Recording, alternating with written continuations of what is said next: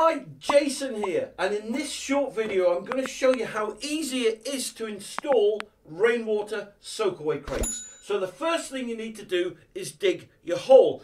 Now for this example I'm going to be using six rainwater crates and the size or footprint of the hole is going to be 1.5 meters long by 1 meter wide by 1 meter deep. So once you've dug your hole, you then need to bring the pipe into the hole. Now this pipe will be coming from your house or your garage or some other building. And typically the fall of the pipe into the hole should be 1 in 200.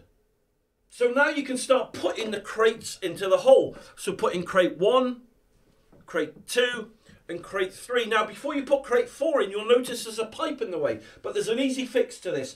On the crate themselves, there's a circular hole. Just cut it out and push the pipe into the soakaway crate. Should go about halfway into the crate.